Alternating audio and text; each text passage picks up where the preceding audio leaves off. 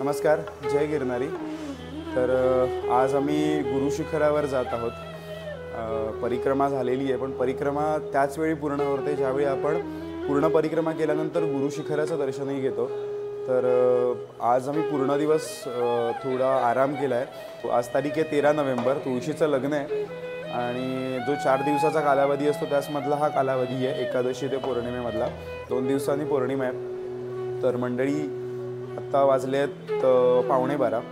आणि आमचं असं आहे की सकाळी एक सहापर्यंत आम्ही गुरुशिखराचं दर्शन घेऊन कारण गर्दी असणाऱ्या असं आम्हाला कळलं की अगदी आपल्या रोपवेपासून पुढच्या गुरुशिखरापर्यंत रांगा आहेत असं आम्हाला काल एका काकूंनी सांगितलं. त्यामुळे आम्ही थोडं लवकर निघण्याचा प्रयत्न करतो जेणेकरून गुरुशिखराचं दर्शन घेऊन आम्हाला एक बारा दुपारी बारापर्यंत आम्ही रिटर्न येऊ शकू. बारा वाजता निघायचा निर्धार केलेला आणि बरोबर बारा वाजलेत. पण जरा म्हटलं जाण्याच्या आधी एक कॉफी किंवा चहा घेऊयात. त्यामुळे कॉफी घेतो आहे लंबे हनुमान मारुती मंदिर जे आहेत तिथे जाऊन पहिल्यांदा दर्शन घेऊ. माझे डोळे जरा बघा ला लाल आहेत अगदी आणि आवाज पण बदलला आहे बसला आहे आवाज. तर मी कितपत व्लॉग करू शकेन माहीत नाही but I will try my best की जेणेकरून सगळी माहिती या व्लॉगमार्फत परिक्रमेची तुम्हाला देण्यात येईल. तर चला जय गिरणारी काल आम्ही परिक्रमा करून चाळीस किलोमीटरची परिक्रमा पूर्ण करून आलो. कालचा अनुभव खूप मस्त होता. काल आल्यानंतर काही पाय बी दुखले नाही एकदम फ्रेश माइंडने होतो. आणि आज आम्ही गुरुशिखर चढायला सुरुवात करतो. तेव्हा आज पण एक्सायटेड आहे की त्यांचं दर्शन घेऊन येण्याचं गर्दी आहे अशी भरपूर समजली आहे तिथे. जय गिरणारी सो काल आम्ही परिक्रमा सुरू केली संध्या सकाळी सहा वाजता. टोटल साधारण बारा तास लागले. पहिला टप्पा फार लवकर झाला. पण नंतर जसा चढ चढ आला त्यानंतर मग आम्ही जरा धीमे पडलो. रस्त्यात खूप मजा आली खूप मजा केली. खूप खाल्लं. खूप छान एक्सपिरियन्स होता. खूप ठिकाणी पाण्यातनं जावं लागतं. त्यामुळे नंतर जसे सूज आणि चपला ओल्या झाल्या त्यानंतर मग त्रास व्हायला लागला. पण ओव्हरऑल लोकांचा आय थिंक एन्थुझियाझम खूप छान होतं. खूप खूप मस्त एक्सपिरियन्स होता. आणि मला असं वाटतं आयुष्यात एकदा तरी प्रत्येकाने ही परिक्रमा करावी. नमस्कार. तर काल आमची सक्सेसफुली गिरनार परिक्रमा पूर्ण झालेली आहे. आणि आता आम्ही निघालो आहोत गिरनार गुरु शिखर चढायला. गिरनारबद्दल एक शॉर्ट इन्फॉर्मेशन द्यायची असेल तर गिरनारची हाईट आहे five thousand six fifty feet आणि कळसुबाई हा जो महाराष्ट्रातला स हायेस्ट माउंटेन जो आहे किंवा पीक जो आहे त्याची हाईट आहे five thousand four hundred feet so आता तुम्हाला डिफरन्स कळेल की अजून तो किती उंच आहे आणि तो सबमिट करणं किती डिफिकल्ट आहे? तिथे लंबे हनुमानजी मंदिर आहे जे अगदी गिरनारच्या पायथ्याशी आहे. तर आत्ता मंदिर बंद आहे परंतु बरेचसे परिक्रमावासी इथे नमस्कार करून पुढे जातात आणि हा गिरनारला पुढे जाण्याचा रस्ता आहे. तर आम्ही आपण पहिल्यांदा मारुती रायानं नमस्कार करून परिक्रमेची सुरुवात करूया. बजरंग बली की जय.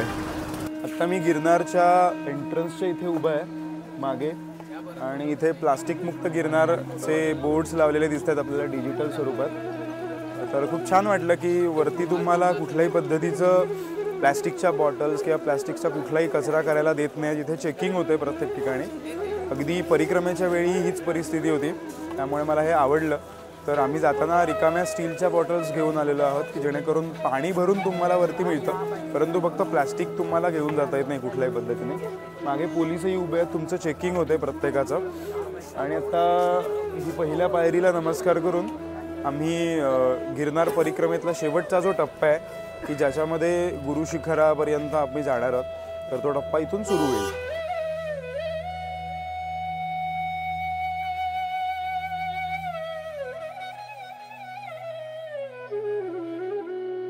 पहिली पायरी ही फार महत्त्वाची असते गिरनारच्या टप्प्यामधली. तर पहिल्या पायरीला प्रत्येकजण नमस्कार करूनच गुरु शिखरापर्यंत जातो.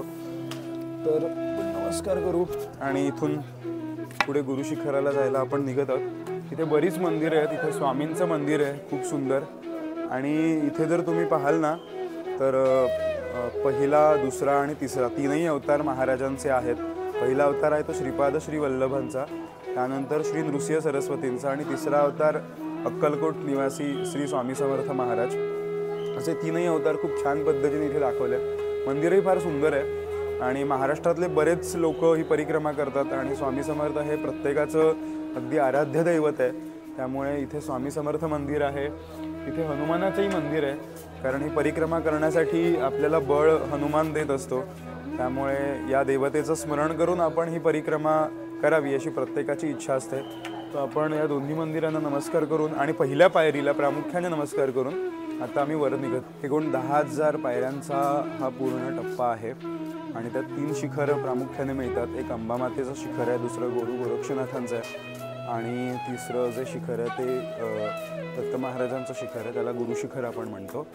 तर पहिलं अंबामातेचं जे शिखर आहे ते पाच हजार टप्प्यावर आहे आणि पुढचे पाच हजार गोरक्षनाथ आणि गुरुशिखर मिळून असं असा पूर्ण परिक्रमेचा मार्ग आहे. तर आपण पहिल्या पाच हजारपर्यंत जायला तुम्हाला रोपवे आहे परंतु मी कधी आजपर्यंत रोपवेने गेलो नाही आहे गिरनारला. आम्ही पायीच जातो आणि खूप छान अनुभव असतो पायी जाण्याचा आणि एक वेगळा आल्हाददायक अनुभव असतो. परिक्रमेला निघताना हा, थोडी एनर्जी येण्यासाठी जरा स्पीकरवर गाणी लावलं आणि माझे आवडते गायक गायिका प्रथमेश आणि मुग्धाचं दत्त पाठीराखा हे गा गाणं मला खूप आवडतं. सो जरा एनर्जी येण्यासाठी गाणी लावून आम्ही चालत आहोत. इथे बऱ्याचशा पायऱ्यांवर नंबर लिहिलेले आहेत की तुम्ही किती टप्पा पार केलेला आहे किंवा की तुम्ही किती पायरी चढलेले आहात हे तुम्हाला दिसून येतं. त्यामुळे आपल्याला समजतं की अजून आपल्याला किती चालायचं आहे किंवा किती पायऱ्यांनी आपल्याला रेस्ट करायची आहे ह्याची आपल्याला एक याचा आपल्याला एक अंदाज येतो. त्यामुळे बरं पडतं की येस आपण आता दोनशे चढल्यात किंवा चारशे चढल्यात. आता आम्ही अंदाजे एक दोनशे सव्वा दोनशे पायऱ्यांवर आहोत. आणि इथे हनुमानाचं खूप सुंदर असं मंदिर आहे.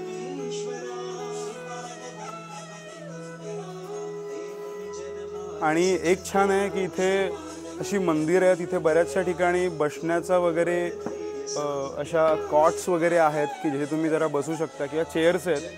बसायला जरा जागा आहे अशी बऱ्याच ठिकाणी व्यवस्था केलेली आहे. त्यामुळे ते खूप चांगलं आहे. दहा हजार पायऱ्या चढून जाणं हे शारीरिक व मानसिक क्षमतेची कसोटी पाहणारं असलं तरी दत्तभक्तांनी एकदा तरी जायलाच पाहिजे असं ते स्थान आहे. भगवान दत्तात्रेयांनी आपल्या चिरंतन वास्तव्याने पुनीत केलेले आणि बारा हजार वर्षे तपाने सिद्ध केलेले स्थान म्हणजेच पूर्व इतिहास व परिसर गिरनार अशी दत्तभक्तांची अनन्य श्रद्धा आहे. भौगोलिकदृष्ट्या असंख्य छोट्या मोठ्या पर्वतांचा शिखरांचा आणि सुळके यांचा समूह असलेला हा परिसर आहे. इथे तेराशे पायऱ्यांवर शंकर महाराजांचं हे मंदिर आहे. महाराजांनी गिरनार यात्रा बऱ्याचदा केलेली. तर खूप सुंदर असं हे शंकर महाराजांचं मंदिर आहे.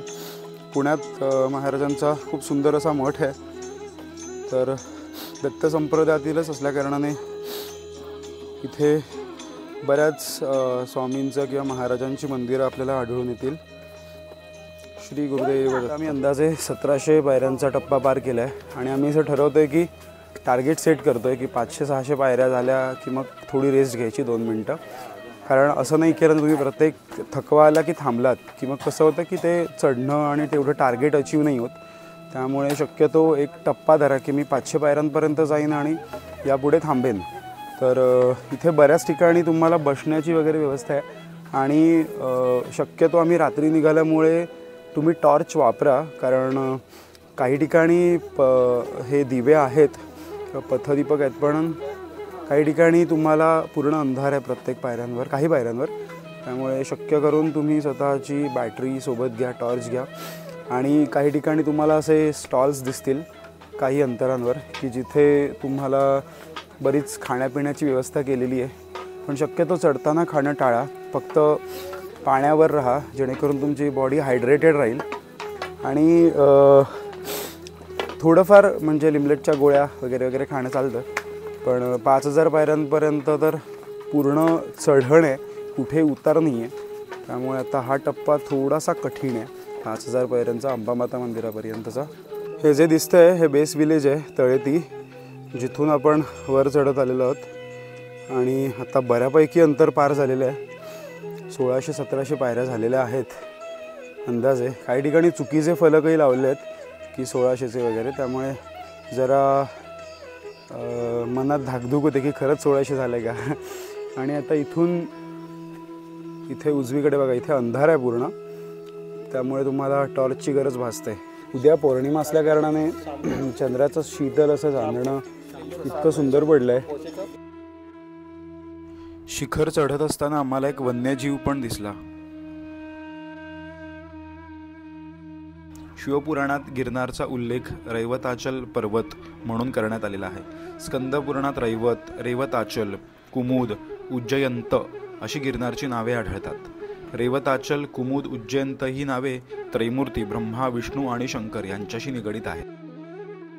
अडीच हजार पायऱ्यांचा टप्पा पूर्ण झालेला आहे आणि तिथे ना असं मस्त बसायला मिळालं आहे आणि मागचा व्ह्यू इतका सुंदर दिसतोय ना कमाल. परफेक्ट. आता आम्ही तीन हजार पायऱ्यांवर पोहोचलो तर आम्हाला एक काका भेटले आहेत आपका नाम क्या आहे अंकल? वनराज. वनराज करके अंकल आहे तर त्यांनी इथून आम्ही पाणी घेतलं बॉटल्स भरून घेतल्या पाण्याच्या. तर ते बोलता बोलता आमच्याशी चक्क मराठीमध्ये बोलायला लागले आणि म्हणाले की शिवाजी महाराज की कृपा आहे उपर. आणि त्यांच्या इथे आपल्याला ह्या सात पिढ्यापूर्वी असलेल्या श- शिवाजी महाराजांच्या काळातील राजमुद्रा आहेत. दिसत आहेत का? खूप सुंदर अशा मुद्रा आहेत आणि या सात पिढ्या त्यांनी जपून ठेवलेल्या आहेत. आणि बघितल्यावर धन्य झालो की एवढ्या जुन्या राजमुद्रा शिवाजी महाराजांच्या काळातल्या तांब्याच्या ह्या आपल्याला इथे पाहायला मिळाला. थँक्यू सो मच काका. थँक्यू श्री गुरुदेव दत्त आम्हाला सूर्योदयाला गुरुशिखरावर पोहोचायचं आहे त्या उद्देशाने आम्ही चालतो आहे आणि आता चार हजार दोनशे पायऱ्यांवर जे जैन मंदिर आहे अंदाज आहे मला नक्की आकडा माहीत नाही. तर तिथपर्यंत आता आम्ही शंभर पायऱ्या दूर आहोत तिथून. तिथे पोहोचल्यावर पुढे अंबामाता एक हजार पायऱ्या आणि पुढचा जो टप्पा आहे तो म्हणजे माझ्या माहितीनुसार एक सव्वा तासात होतो जो मी अनुभवला पुढच्या पाच हजार. कारण पुढे उतार चढाव उतार चढाव आहे त्यामुळे उतारात लगेच आपण उतरतो. चढावायला थोडा वेळ लागतो. थोडं अंगात ताप आहे पण जी इच्छाशक्ती आहे ना ती तुम्हाला नक्की वर घेऊन जाते. आज अनुभवायला मिळते. चला जय गिरणारी जय गिरणारी आपण आता चार हजार दोनशे पायऱ्यांवर आलो आहोत अंदाजे जिथे जैन मंदिर आहे निमिनाथ यांचं. तर इथे मागे मंदिर आहे. आणि आत्ता पुढे एक आठशे नऊशे पायऱ्यांवर अंबामाताचं मंदिर आहे. तिथे आम्ही थोडी विश्रांती घेणार आहोत. आणि जनरली सात वाजता रोपवे सुरू होतो. तर रोपवे सुरू होण्याच्या आधी दर्शन घ्यायचं असं आमचा ठरलं आहे कारण बेसिकली रोपवे सुरू झाल्यानंतर गर्दी जरा जास्त होते.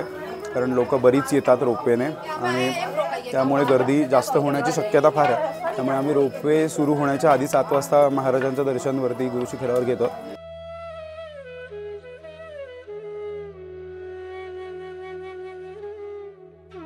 कित्येक संतांना याच ठिकाणी दत्तप्रभूंनी साक्षात दर्शन दिले आहे. अनादिकालापासून कित्येक सिद्धयोगी गिरनारच्या गुंफांमध्ये साधना करीत आहेत. बाबा किनाराम अघोरी श्री वासुदेवानंद सरस्वती टेंबेस्वामी महाराज रघुनाथ निरंजन नारायण महाराज यांसारख्या संतांना इथे दत्त महाराजांचा प्रत्यक्ष दर्शनाचा लाभ झालेला आहे. ही भूमी योगी सिद्ध महात्मे यांनी संपन्न आहे. म्हणूनच आजही अनेक जण गिरनार पर्वतावर त्यांच्या स्थानावर तपश्चर्येला बसलेले आढळून येतात. पाच हजार पायऱ्यांचा टप्पा पूर्ण झालेला आहे. अंबामातेच्या मंदिराच्या इथे आम्ही आता पोहोचलेलो आहोत. आणि मातेचं मंदिर सात वाजता ओपन होतं. त्यामुळे आत्ता उघडं नसल्यामुळे तुम्हाला दाखवता येत नाही आणि आता अंधारी आहे. त्यामुळे येताना मी अंबामातेचं मंदिर परत एकदा दाखवेन आपल्या व्हिडिओमध्ये.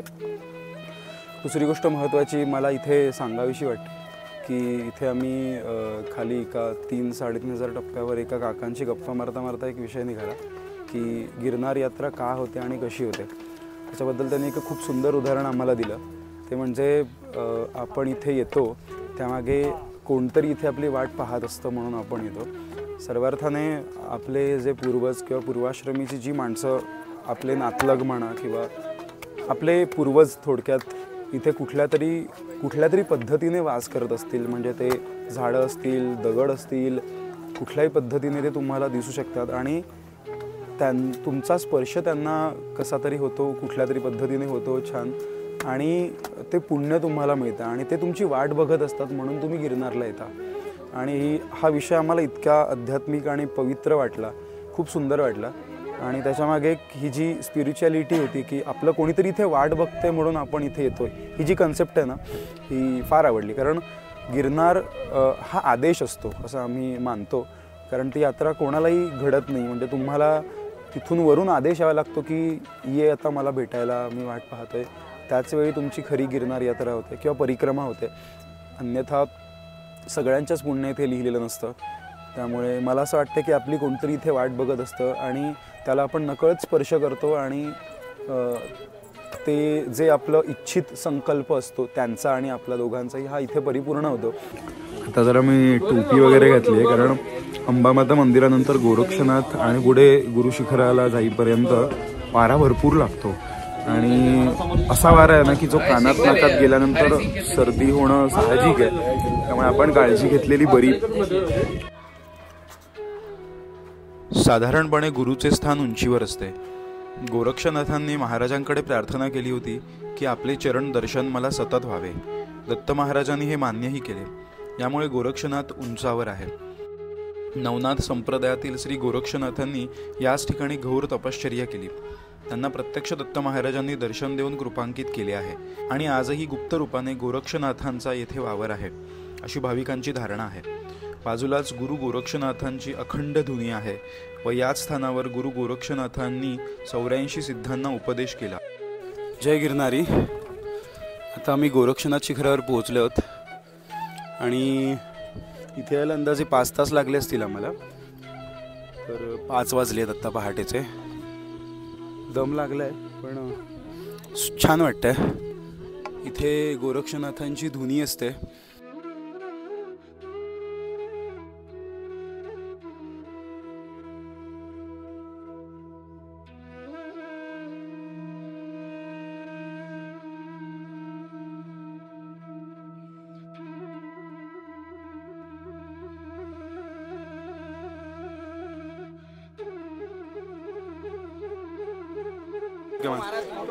ही जी मागे आपल्याला कमान दिसते ना ती कमान जी गुरु शिखराची एंट्रन्स आहे ती आहे.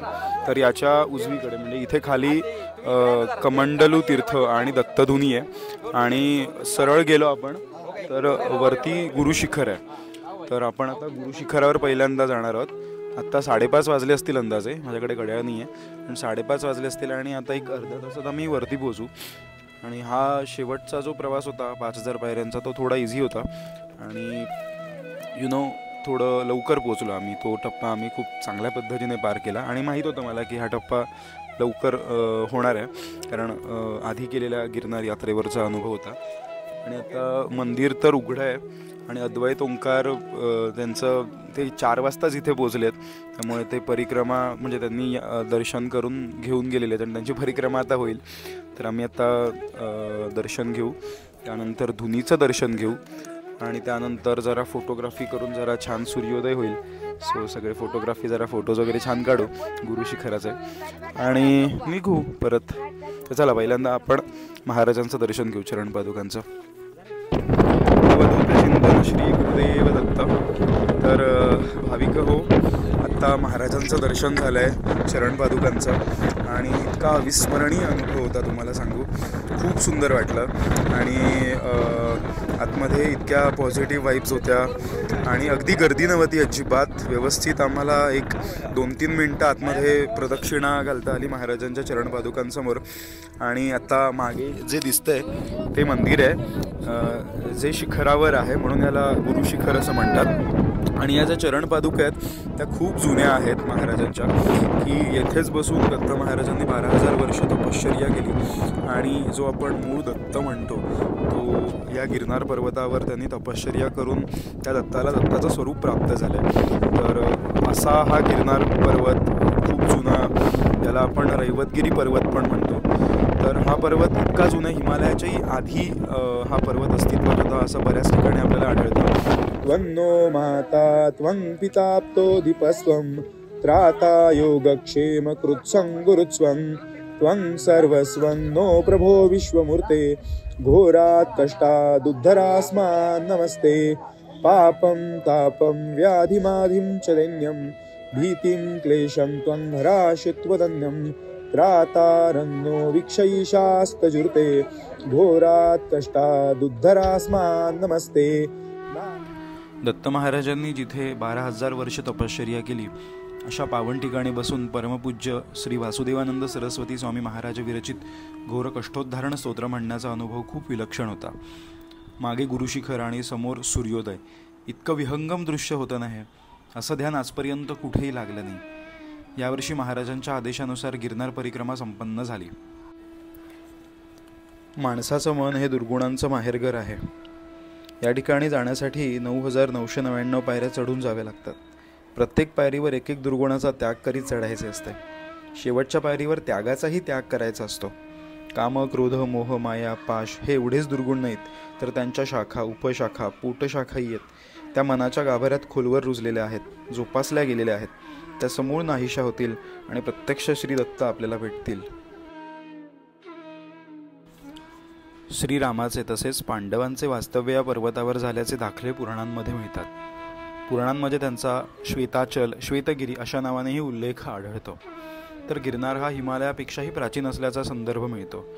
वरील सर्व गोष्टी ह्या गिरनारच्या दिव्यत्वाशी निगडीत आहेत.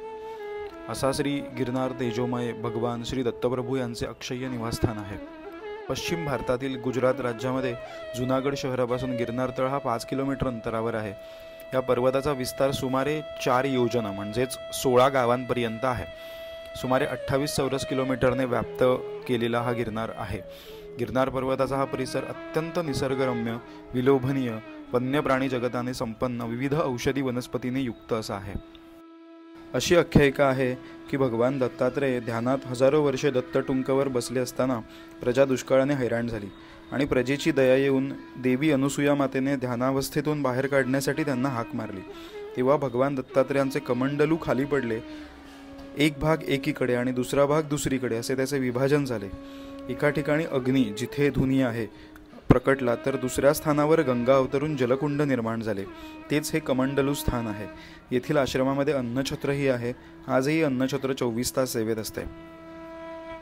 दत्त महाराज कोणत्या ना कोणत्या रूपात इथे येतात? आश्रमाच्या मागील बाजूने उतरले की महाकाली गुंफेच्या डोंगराकडे जाता येत आहे. मंडळी आता दत्तधुनीचं दर्शन झालं आहे आणि खूप छान असा अनुभव होता. सो तिथे प्रसादालाही आहे. जिथे खूप छान प्रसाद मिळतो आणि ज्याची चव बरेच वर्ष जशी आहे तशीच आहे. खूप सुंदर चव असते आणि इथे वर आल्यावर इतकी भूक लागलेली असते ना आणि इतका सुंदर असा प्रसाद होता तो ढोकळा आणि शिरा आणि चहा. सो जरा पोटाची भूक पण भागली आणि महाराजांचा प्रसाद मिळाला.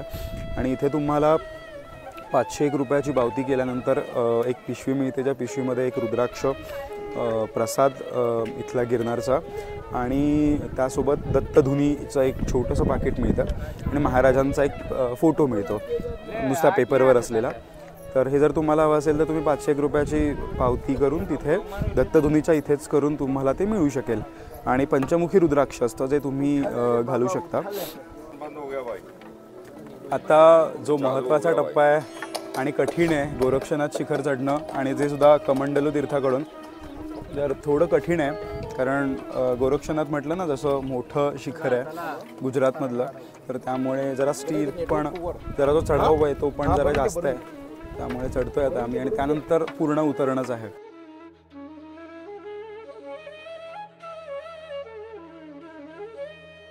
दिगंबरा दिगंबरा श्रीपाद वल्लभ दिगंबरा दिगंबरा दिगंबरा श्रीपाद वल्लभ दिगंबरा. जय गिरनारी. इथे डोलीची सोयीसुद्धा अवेलेबल आहे. तर वजनानुसार त्याची किंमत ठरते. अंदाजे दहा बारा हजार रुपये होतात डोलीचे.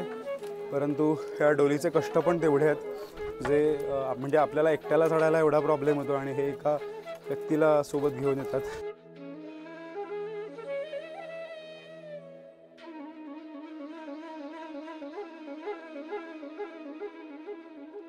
आणि मी आता गोरक्षनाथ शिखरावर पोहोचलेलो आहे. आणि इथून मला हे गुरु शिखर दिसतंय. मी थोडं झूम करतो. वा दर्शन घ्या इथूनच. गर्दी भरपूर आहे. म्हणजे आता रोपवे सुरू झाल्यामुळे गर्दी भरपूर होते. लोक येत आहेत रोपवेचा वापर करून.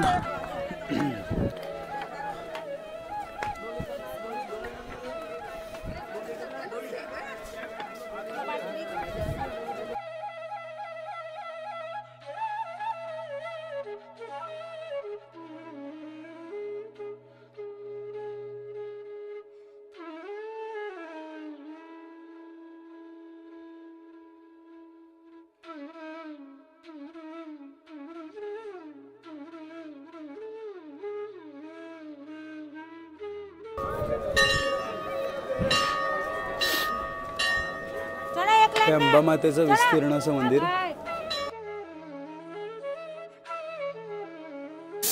मंडळी आता आम्ही आलो आहोत अंबामाता शिखराच्या इथे. थोडं कोल्ड्रिंक वगैरे घेतलेलं आहे. आणि आता नऊ वाजले आहेत. सो तीन तासात आम्हाला खाली पोचायचं आहे. बारा वाजता खाली पोचून एक वाजता आम्ही कारने राजकोटला जायचा प्लॅन करतोय तनयसोबत कारण तनयचं फ्लाईट आहे पाच वाजता. सो आम्हाला लवकर तसं पोचायचं आहे त्यामुळे प्रयत्न करतोय की लवकरात लवकर पोचायचं आणि त्याच्यासोबतच राजकोट रेल्वे स्टेशनवर जायचं आहे इथूनच. मित्रांनो उतरण्याची ही स्टाईल आहे बघा. असं तिरकं उतरलं ना की तुमचे पाय कमी त्रास देतात. तुम्हाला स्वतःला. आणि उतरणं पण फास्ट जातं. ही बघा ही अशी स्टाईल आहे. आणि इथे अगदी बालगोपाळांपासून वयोवृद्ध सत्तर ऐंशी पंच्याऐंशी वयाचे वृद्ध हे ही परिक्रमा आणि यात्रा करतात. आणि प्रत्येकजण आपापल्या कुवतीप्रमाणे चालतात. आणि माझं म्हणणं आहे तसंच करावं. कारण तुमचं जसं वय आहे किंवा बऱ्याच जणांना बरेचसे व्याधी असतात. त्यामुळे तुम्हाला ज्या पद्धतीने परिक्रमा करायचे जितका वेळ तुम्ही घेऊ शकता तितका वेळ घ्या. पण अशा पद्धतीने परिक्रमा करा किंवा यात्रा करा.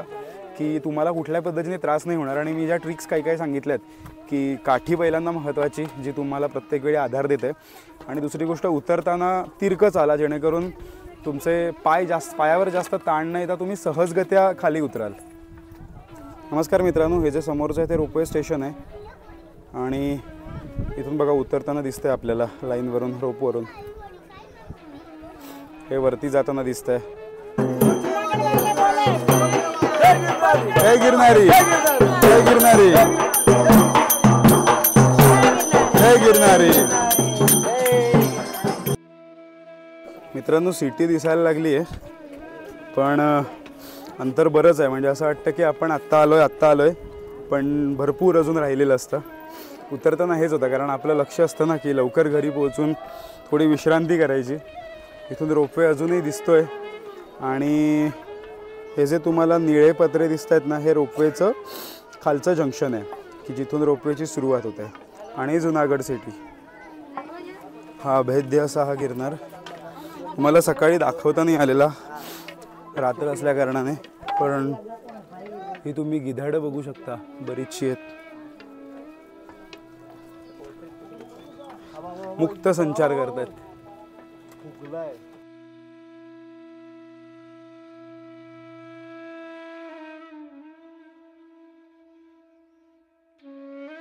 तर मंडळी शेवटच्या पाच पायऱ्या राहिल्या आहेत आम्ही आत्ता हनुमान मंदिराच्या इथे आहोत. आणि खूप सुंदररित्या ही यात्रा झाली. आता गुरुशिखरावर जाऊन इतकं छान पद्धतीने दर्शन मिळालं ना की खूप खूप धन्य झालो. आणि ही से ही परिक्रमा किंवा ही यात्रा मी केली नाही तर ही महाराजांनी घडवून आली असं घडवून आणली असं आम्ही सर्वजण म्हणतो. कारण मी म्हटलंच मगाशी उल्लेख केला आणि परत एकदा करतोय कारण हा उल्लेख करणं फार महत्त्वाचं आहे. कारण आपण प्रत्येक वेळी ज्यावेळी मीपणा जोडतो की मी परिक्रमा करतोय मी यात्रा यात्रा करतोय तर ती आपण नाही करत. कारण तुम्ही हा मीपणा ज्यावेळी सोडता हा अहंकार ज्यावेळी सोडता त्याचवेळी तुम्हाला आध्यात्मिक भाव सुरू होतो खऱ्या अर्थाने. त्यामुळे अध्यात्माला तुम्हाला जर तादात्म्य पावायचं असेल तर तुम्हाला अहंकार हा खरंच सोडावा लागतो. आणि या यात्रेमध्ये मी बघितलं की अहंकार सोडल्यावरच ही यात्रा होते. अन्यथा बरीच जणं चार हजार तीन हजार पायऱ्यांवर जाऊन परत मागे येणारी पाहिलेली आहेत. त्यामुळे मी एका अर्थाने भाग्यवान म्हणतो की माझा जन्म अशा घरी झाला की जेथे एकशे पंच्याहत्तर वर्ष दत्त परंपरा आहे श्री नृसिंह सरस्वतींच्या पादुका घरी आहेत आणि घरी औदुंबर वृक्ष आहे ज्याची रोज पूजा होते पूजा अर्चा होते अभिषेक होतो दत्तजयंतीसारखा सण साजरा होतो.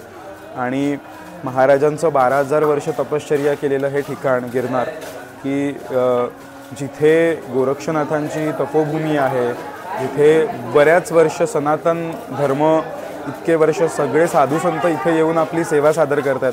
अशा ठिकाणी आपल्याला दरवर्षी येता येणं ही खरी पुण्याई आपल्या पूर्वजांनी कमावलेली असेल त्यामुळे आपल्याला हे सगळं करता येत आहे जे कोणी या जगात वावरत असतील मुंगीपासून मुंग्यांपासून अगदी आपल्या माणसांपर्यंत सगळ्यांना सुख ऐश्वर अभिवृद्धी देवो आणि मैत्रजीवांचे ही जी कन्सेप्ट आहे ही या जगात वावरो आणि माणसाने माणसाला माणसासारखं वागवू दे आणि हे जग असंच यापुढे छान पद्धतीने सुरू राहू दे अशीच प्रार्थना जय गिरणारी तर मंडळी आता आम्ही हॉटेलला हॉटेलच्या समोर आहोत अगदी आणि बरोबर बारा वाजलेले आहेत.